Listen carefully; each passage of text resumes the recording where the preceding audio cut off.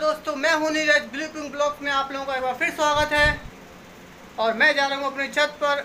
छत से देखूँगा आज के क्या नज़ारे हैं। मौसम आज फिर से अच्छा लग रहा है। हल्की हल्की बारिश हो रही है। और छत पर जाने के लिए हम लोग नशेनी पे चढ़ेंगे। उसके बाद छत पर जाके हम वहाँ का नज़ारा देखेंगे।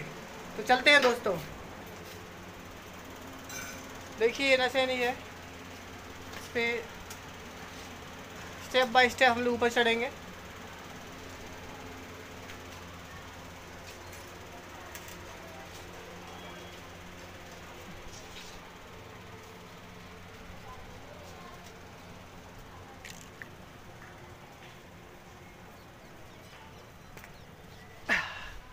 दोस्तों, मैं ऊपर आ गया हूँ।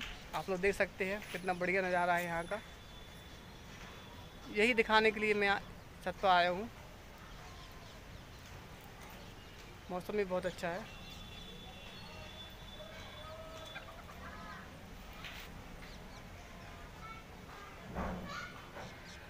दोस्तों, पिंकी जी भी ऊपर आ रही हैं। आप लोग देख सकते हैं। ये आ गई है।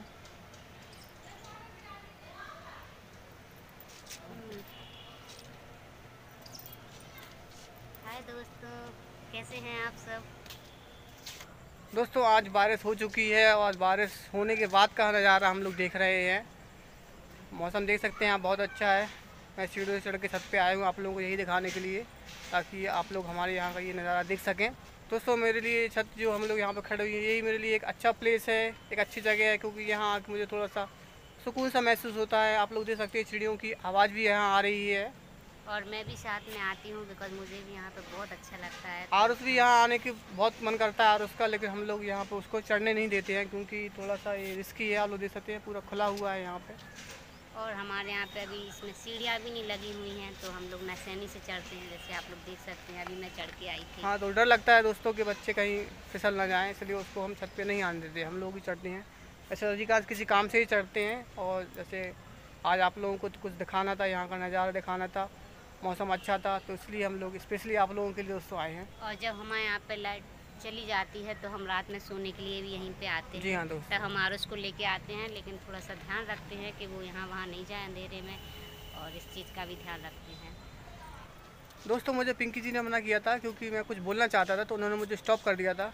लेकिन आप मेरी बातों को शब्दों में समझ जाइएगा कि कुछ तो लोग कहेंगे लोगों का काम है कहना। आप लोग इन शब्दों में मेरी बात को समझ चुके होंगे।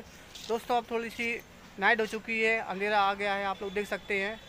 इसलिए मैं अपनी वीडियो को यहीं स्टॉप करता हूँ और हम मिलते हैं अपनी नेक्स्ट वीडियो में। तब तक के लिए बाय बाय बाय बाय